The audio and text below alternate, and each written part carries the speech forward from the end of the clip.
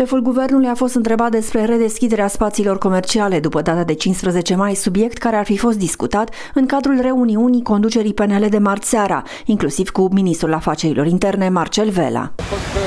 prezentate anumite situații specifice în care în anumite spații de tip mall sunt magazine care au intrări exterioare și că e normal că pentru aceste magazine cu intrări exterioare, chiar dacă sunt în interiorul molurilor, ele vor fi deschise. Cum de altfel vor fi deschise în moluri farmaciile care sunt